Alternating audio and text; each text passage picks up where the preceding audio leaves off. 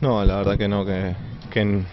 eh, sabiendo que venís a un club tan grande como, como Barcelona, que los objetivos son siempre ganar todo, no, no te imaginas llegar la primera temporada y, y ganarla de la forma que, que se ganaron todos los premios. ¿no? Sí, es tema de compartir mate con los compañeros, pero, pero en sí en realidad somos un, un grupo de muchos jugadores jóvenes, muchos ya nos conocemos el año pasado, hay un, un grupo muy lindo el cual está trabajando bien, tanto de dentro de la cancha haciendo lo mejor en los entrenamientos, pero, pero también afuera hay un buen grupo. No, obviamente que al principio de los primeros partidos, ¿no? El tema de,